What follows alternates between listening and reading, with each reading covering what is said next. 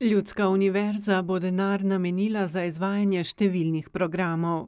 Zdajle imamo v zadnjem letu, novo javno službo na področju izobraževanja odraslih. Od leta enaindvajset je to svetovalna dejavnost na področju izobraževanja odraslih. In od lanskega leta, po dolgih letih, osnovno šolo za izobraževanje odraslih, za dokončanje osnovne šole, kamor vključujemo romsko populacijo. Kar jim je olajšalo prehod med dvema evropskima finančnima perspektivama. Seveda pa je za nas neizmerno pomemben letni program izobraževanja odraslih, ki ga od leta dva petnajst pravzaprav sprejemamo na občinskih svetih in pomeni financiranje programov in sofinanciranje programov strani, proračuna mestne občine. Ljudska univerza je naš javni zavod, z njo sodelujejo, so sodelovali tudi v preteklosti.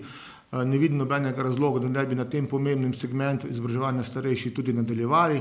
Se pa na Ljudski univerzi srečujejo s precejšnjo prostorsko stisko. Prvi načrti za naše nove prostore so padli v vodo, tako da bomo, upam, da našli rešitev v kratkem, za kakšne nove možnosti in priložnosti, kajti naša stiska je res zelo velika. pred nami je nova evropska perspektiva, mi potrebujemo nove prostore, zato da bomo lahko projekte, ki jih zelo ambiciozno načrtujemo, sploh lahko umestili v prostor. Sicer je bil v obdobju prejšnje vlade podpisan sporazum, da bi nove prostore Ljudske univerze Krško uredili v delu prazne zgradbe nekdanje krške policijske uprave, a je sporazum sedanja vlada razveljavila.